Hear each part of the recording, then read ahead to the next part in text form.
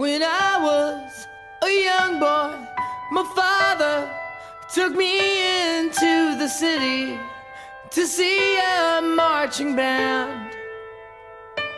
He said, Son, when you grow up, would you be the savior of the broken, the beaten, and the damned?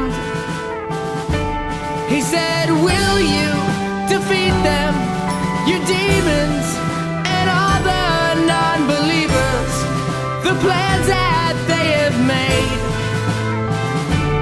Because one day I'll leave you a phantom to lead you in the summer to joy.